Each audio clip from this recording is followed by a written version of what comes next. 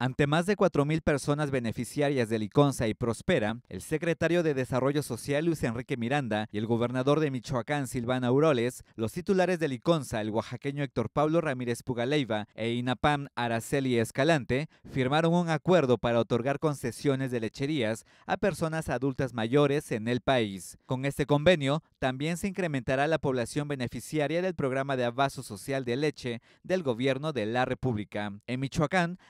actualmente Liconza cuenta con un padrón de personas beneficiarias que asciende a 233.522, lo que representa un incremento de 38.736 personas más que en el año 2012. La distribución de leche llega a 3.273.491 litros mensuales para atender a los 113 municipios de la entidad en 413 puntos de venta. Al respecto de la firma del convenio institucional, Héctor Pablo Ramírez Pugaleiva destacó el reconocimiento del gobernador Silvano Aureoles en el sentido de que con la llegada de Enrique Peña Nieto a la presidencia de la República, la compra de leche a ganaderos por parte de Liconza creció un 43% en Michoacán.